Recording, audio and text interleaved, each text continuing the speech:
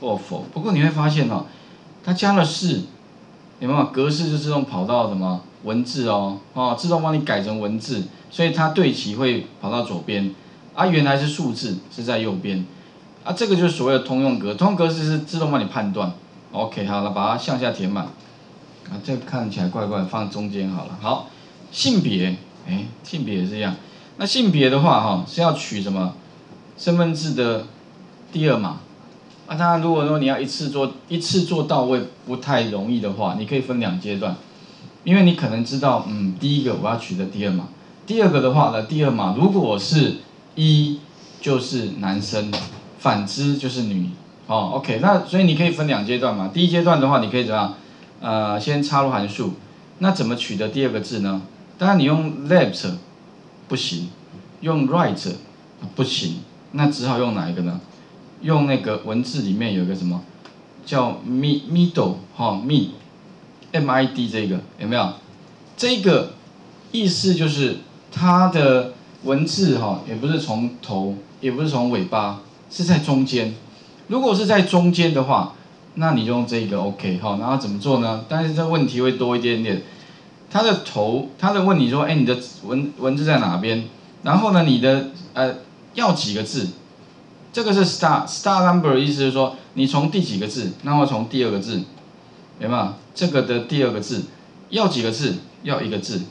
所以这个是 star 是从哪一个字开始？这个是取几个字？啊？那从这个身份证号里面啊，你就取得一。不过特别注意一下哦，这个一是数字还是文字？有没有？文字哦，OK 哈。所以呢，这个是一个文字，所以它产生出来的也是一个文字。那这个很重要哦，因为你等一下判断的时候哦，你不要就给它一个一。而是要给它一个一，但是前后要加双引号哦。OK，如果没有加那个双引号的结果就不一样了。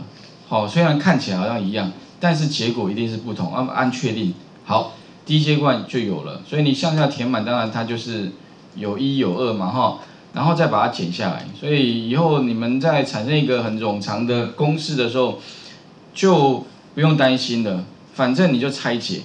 那很多事情哈，特别是也是一样，VBA 也是一样拆解。你不要说全部通通把它集在一起，就没有办法解了，就乱了，对不对哈？那如果你把它拆解，再拆解，再拆解，拆解完之后，再把它合并在一起，那就会是看似很复杂啦。不过都是有阶段性的。那我的习惯是，你们的发的问题，你不要去是最后那个哦很乱的结果给我，我没办法帮你解。你就是切一段哦来问我，那我就很快告诉你。再切一段，那我就告诉你，这样很方便。你也慢慢习惯这种方法，你在做事情的时候也很容易就可以把问题解决了。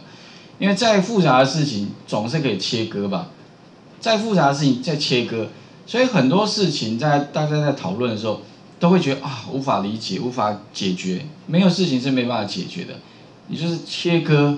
再切割，切到细一点嘛，切到你可以解决为止，然后就把它事情可以很快可以解出来哈。所以这边的话呢，再来怎么样，插入一个逻，这边有一个逻辑，然后再 if，所以你就把刚刚的东西怎么样，剪下来之后再贴回去，然后等于什么呢？等于特别重要，你不能打一个一哦，这个一哈，它永远都不会是处了，为什么？因为它不会是这个一，而会是这个一。啊，这个这个我想很重要，因为很多同学没这个观念。那问题来了，诶，可是哈，你想说，就就有个考试，他就故意考你什么？可是呢，我不要，我一定要给你判断这个一，那怎么办呢？所以这个时候你要想到，有没有一个函数，它可以帮我们把呃文文字转换成数字，有没有？文字转数字，哎，有没有这个？有用过吗？有同学知道吗？好，好像同学讲出了，那有一个函数了哈，它可以帮我找把那个就是文字转数字，那就可以 match 了哦。OK，这个好像在一些考试里面都会考到，哦，像这个也是会考到，是很喜欢考这种东西。为什么？因为很多同学哈。观念不清楚，就是文字跟数字搞不清楚。那搞不清楚的结果就是说，你最后做任何事情就是会差那么一点点，其他都对了，但是这个数字跟文字搞错了，那结果会是对的嘛？当然结果就错了。OK 哈，所以呢，这个地方的话，记得哈，加上这个。那但是如果说我们要把它改成这个前面转换成数字再来比，可不可以？可以啦，不过这等一下再来讲啊。那如果为数的话，那就是难。